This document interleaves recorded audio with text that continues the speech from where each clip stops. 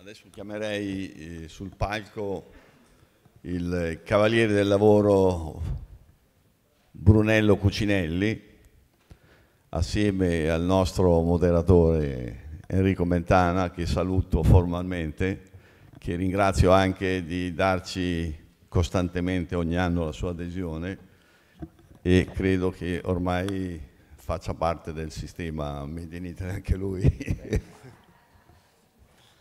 Interessante, buona a sapersi. Buona chiacchierata.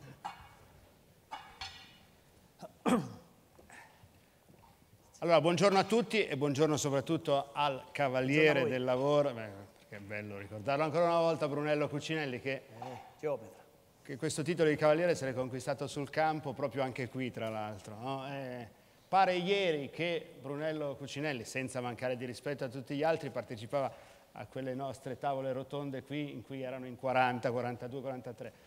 Oggi giustamente lo vediamo al, assurto al rango di, eh, di grande figura di questo tipo di incontri per, avere, per, per aver fatto la sua storia, della sua storia una storia di successo meritato e coronato, ancora l'abbiamo visto nelle slides, da una performance in borsa assolutamente straordinaria, in cui non dico che fosse l'unico a crederci, ma all'inizio con la sua eh, terapia francescana, diciamo, rispetto all'evo- all'evoluzione di quella straordinaria avventura eh, che ha messo in piedi in Umbria. Insomma, con tutto questo è riuscito veramente a fare qualcosa di, di veramente eccezionale. Ma detto, finiti i complimenti, allora è difficile entrare in sintonia con una situazione, una fotografia che abbiamo appena visto da parte di chi ha dimostrato che si può fare.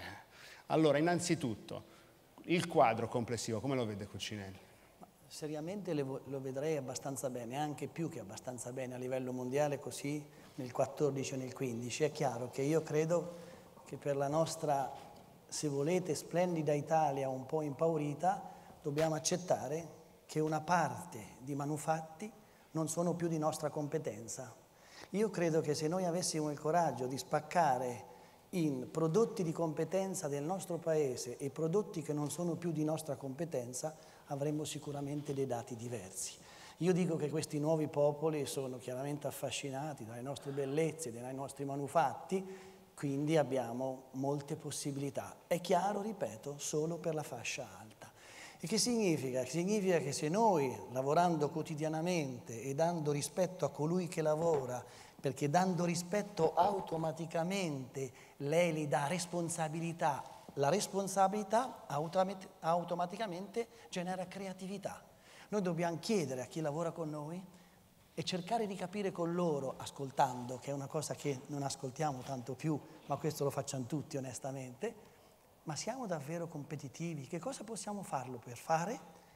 O addirittura questa impresa non è più competitiva. Ecco, quindi per una certa fascia di prodotto io credo che per l'Italia seriamente debba ancora venire un bel tempo.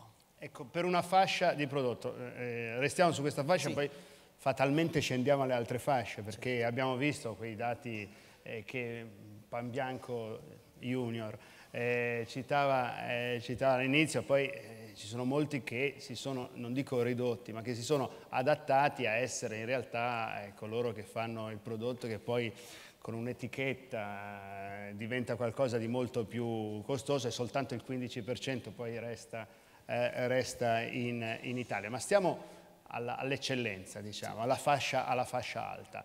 Come tutelarla? Come essere predatori non prede? Oppure se in realtà questo conta fino a un certo punto?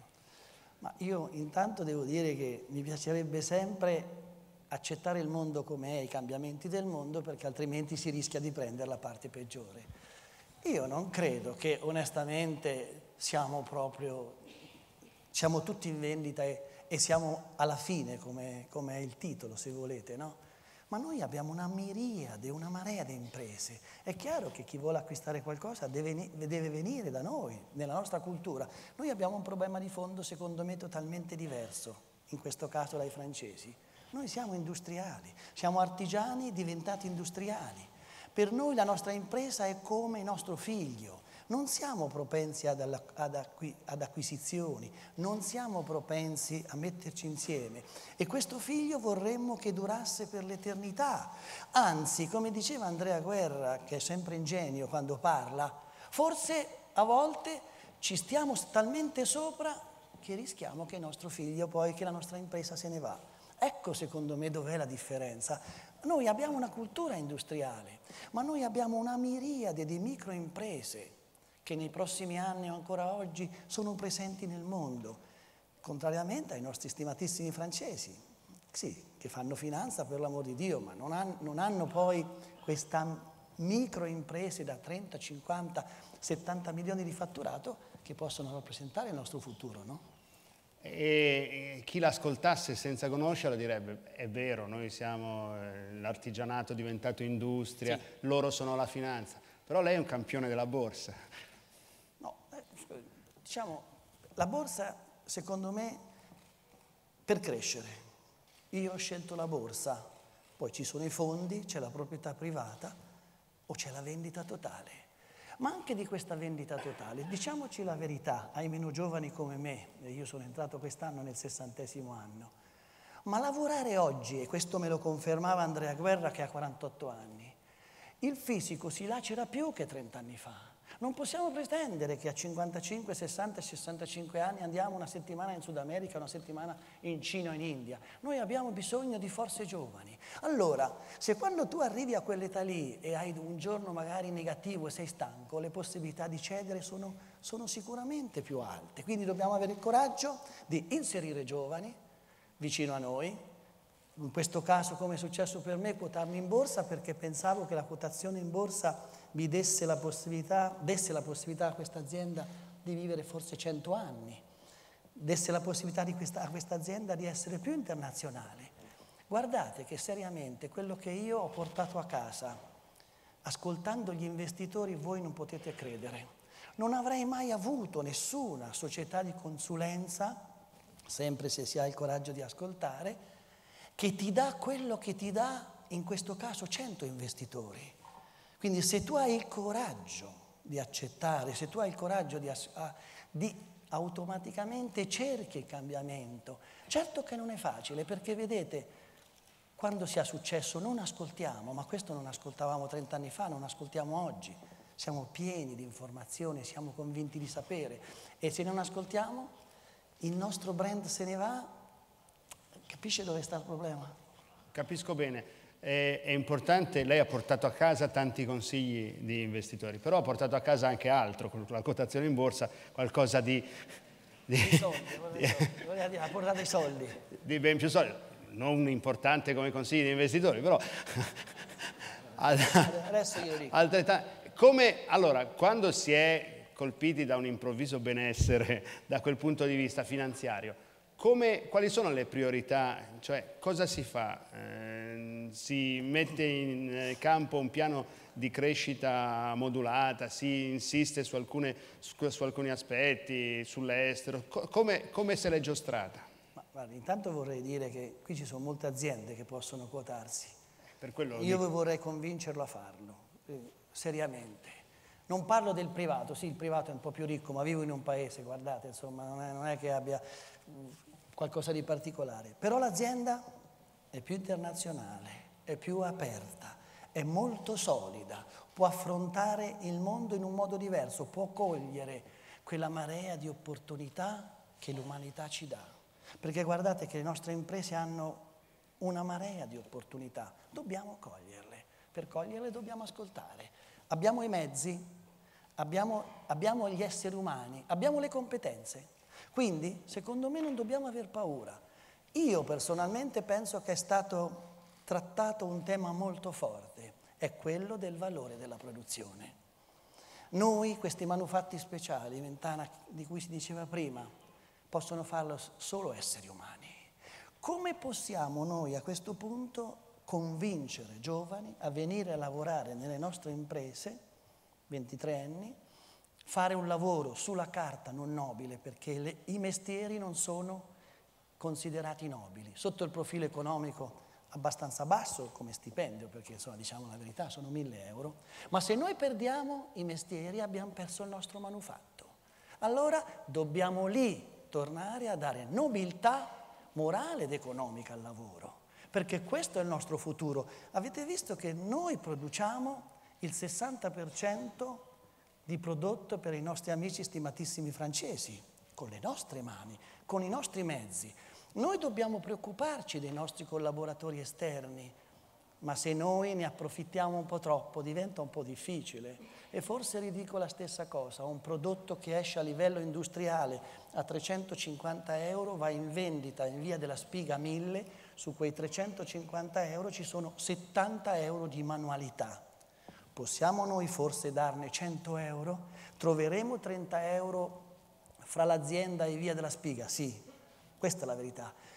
Quindi noi dobbiamo curare i nostri manufatti, dobbiamo convincere i giovani. Guardate, ho fatto una cosa abbastanza carina, non sono, qui a fare pubblicità su questo, però al paese abbiamo aperto una decina di scuole. C'erano prima la scuola di teatro, la scuola di danza, la scuola di canto, quindi le arti, che non sono chiaramente remunerate. Vicino abbiamo messo questa sei o sette scuole, la scuola di muratura, la scuola di giardinaggio e agricoltura, la scuola di tessuto, e voi non potete immaginare che richiesta abbiamo avuto di questi giovani. A una condizione però, lavorano nello stesso ambiente, in ambienti carini, si frequentano con il regista di teatro, con colui che sta facendo il corso di danza, tutto diventa nobile, da lì dobbiamo ripartire, dalla non vergogna che andando in discoteca abbiamo dicendo che facciamo la sarta piuttosto che il muratore, facendogli capire però che forse fra due anni può anche guadagnare 3.000 euro al mese. Certo, questo è, è una... È bello sentirsi, voleva dire. No, no, no io eh, ho imparato una cosa, chi la sente per la prima volta dice bello a sentirsi, questo è un sognatore, poi però appunto eh, vede, i numeri, vede i numeri e dice allora ascoltiamolo con attenzione. Sì, ho imparato da te, da prima della borsa, ad ascoltarla senza, senza... Guardate che non avrei mai immaginato che questi grandissimi investitori, fondi americani, inglesi, accettassero con molto piacere una crescita garbata, un lavorare senza recar danni all'umanità, eh, una, una, vita normale di un'impresa. Sapete che alle banche, le banche all'inizio mi dicevano vedrà, lei dovrà raccontare qualcosa di diverso, in questo caso Merrill Lynch e Mediobanca, che però si sono convinti facilmente. Ho detto io provo a raccontare ciò che siamo ho chiesto a loro di portare otto mesi prima, nove mesi prima della quotazione, sei mesi prima, questi investitori da noi, facendogli conoscere l'azienda, facendogli conoscere esseri umani, mangiando a casa mia con la mia famiglia. Quando siamo andati in roadshow è stato tutto molto facile. E posso dire che a quasi due anni di distanza non ho avuto un investitore che mi ha chiesto di cambiare politica. E abbiamo affrontato questo parlando della dignità del profitto. Ma siamo proprio convinti che tu devi comprare una giacca di cashmere in questo caso a 3.000 euro e io che mi informo vengo a sapere che l'hai prodotta in qualche maniera arrecando danni all'umanità, nel senso pagare pochissimo, forse non la compri più. Questo, quindi io credo che possa essere un tema fortissimo, questa idea del profitto sano. Parlavamo con Norza, ma non possiamo crescere sanamente del 10%, dell'8 un anno che va male, del 12 un anno che va bene. Ma un'azienda che cresce il 30% è sana? Secondo me è difficile curare prodotto, crescita, garbo, cultura in un'azienda che cresce rapidamente. Quindi mi sembra che anche la finanza torni a lavorare con, con rispetto dell'industria e noi siamo di cultura industriale. Senta Cucinelli, torniamo a quella giacca da 3.000 euro. Cosa sarebbe giusto allora nel, eh, Sarebbe giusto io, che... io acquirente arrivo e pago quei 3.000 euro. Quanto è giusto che vada a chi artigiano, a chi, a chi lavoratore, a chi... Ma guardi, allora se un nostro operaio guadagna 1.000 euro al mese e ci costa 2.002, io non chiedo che ci deve costare meno, mi piacerebbe molto se lui guadagnasse 1.500 euro. Mi piacerebbe se il nostro cosiddetto fasonista, che sono microimprese, da 15 persone, 20 persone, se guadagna bene, convincerà il figlio a fare questa impresa. Sapete, seriamente vi dico, noi abbiamo fatto un lavoro molto forte 20 anni fa con queste microimprese. Oggi l'età media dei nostri, diciamo, fasonisti è 39 anni perché hanno convinto i figli a restare. Ed è No. tutto sul territorio? Beh, diciamo molto in Umbria, ma abbiamo anche Toscana, in Italia ci sono cose di grande qualità, ma non possiamo nasconderci dietro a questo, non possiamo nei meeting predicare esclusivamente il valore dei nostri manager. Ma chi fa una giacca a mano? Chi cuce? In questo caso vedete per esempio una cosa molto carina si è verificata nella scuola. Questi ragazzi hanno l'iPad, il laser, l'ago, il filo, le forbici. Io credo che anche l'artigianato sia diventato contemporaneo. Cioè la Dallara che fa macchine da corsa e taglia il carbonio con le forbici come un sarto, non è un artigiano contemporaneo? I miei amici della- che fanno pistoni a mano per la Boeing sono artigiani, ne fanno uno. Quindi il valore dell'artigianato come intendeva William Morris, no? L'arte e il mestiere, misceliamoli con la stessa nobiltà economica e morale. Cucinelli, adesso però andiamo da quelli che non sono nella fascia alta, Sì. che sono lì sempre sospesi tra successo e rovina, la dico proprio in termini piatti, e che negli ultimi anni hanno visto più da vicino la seconda che il primo. Che chi ha più responsabilità è chi ha più successo, per forza, lei lo sa, eh, e d'altronde una grande, una grande impresa solidale come la sua porta, ripeto, lavoro delle microimprese, porta tanto alone indotto. Ma che si può fare per il sistema? Intanto secondo me dobbiamo avere il coraggio di ascoltare il mercato. Solo il mercato ci dice se la nostra impresa è competitiva. Questa è la realtà vera. Quindi dobbiamo avere il coraggio di dire sono stato per 40 anni un magnifico imprenditore, ora il mondo è cambiato perché è cambiato, stiamo ridisegnando l'umanità, in questa nuova umanità non va bene questo tipo di impresa.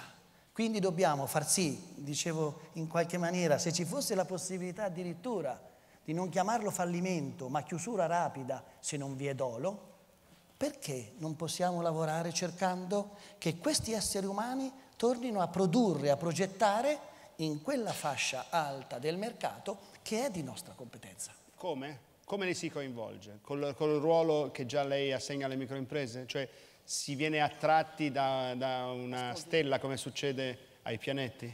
Noi possiamo coinvolgerli solo dando rispetto. Guardi che se io le do rispetto, lei ha un tasso di responsabilità paurosa. Se lei ha un tasso di responsabilità paurosa, domani diventa fortemente creativo.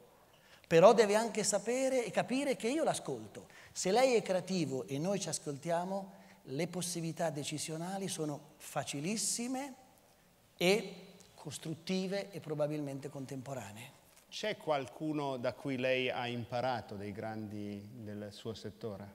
Ma guardi, io O la diciamo- sua è una storia eh, totalmente laterale, parallela rispetto alle altre? Io ho avuto due grandi maestri, uno gli occhi di mio padre, veniva umiliato e quindi ho detto io non faccio quello che è stato fatto a mio padre e ai miei fratelli, non ne voglio sapere niente, non voglio vedere un padre e non voglio essere responsabile del malumore, del male spirituale dei miei dipendenti.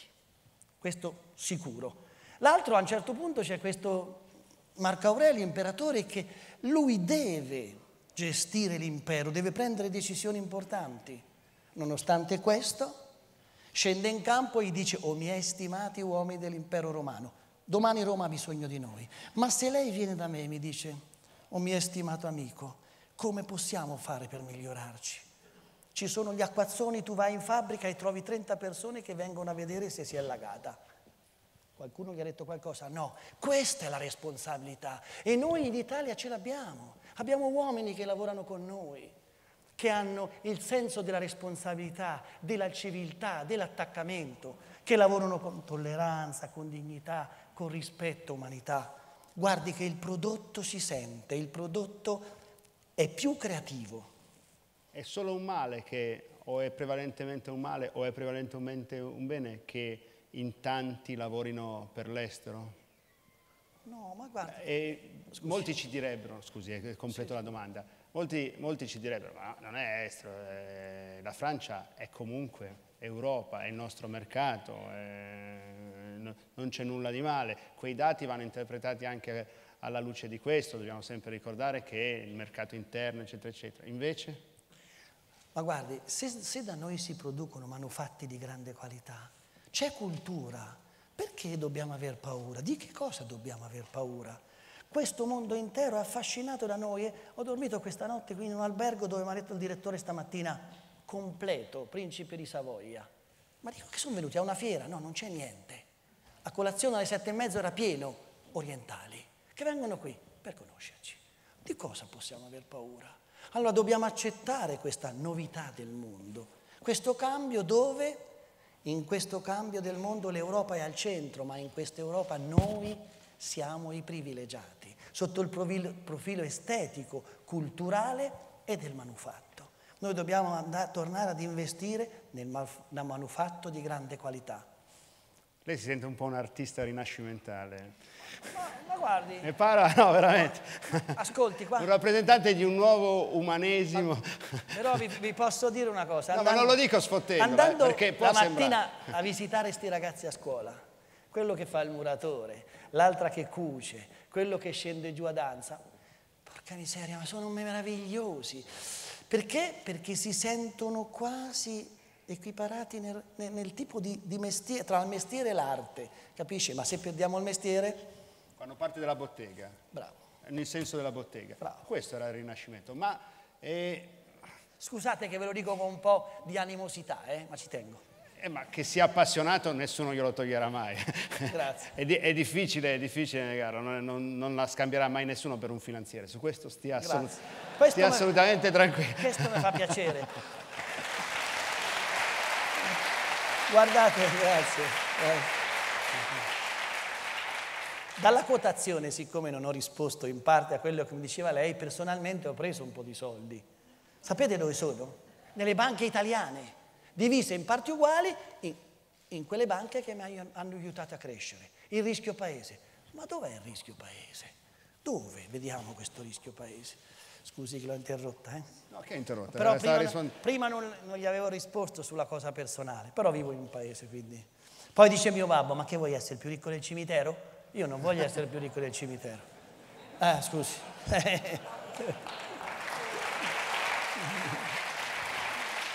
Scusi, Montana. Senta, un'ultima domanda, perché la sua è una meravigliosa storia di successo, la voglio eh, concludere altrettanto bene. E quando lei vede i grandi, gli Armani, che ancora progettano eh, e hanno vent'anni più di lei, e vent'anni e, e, rotti più di lei, eh, lei che dice sono entrato nel sessantesimo e quindi pesa l'età, Cosa pensa del futuro? Cosa vorrebbe fare? Come vorrebbe andare avanti in questo percorso eh, ascendente ma senza sussulti o fare qualcosa di completamente diverso?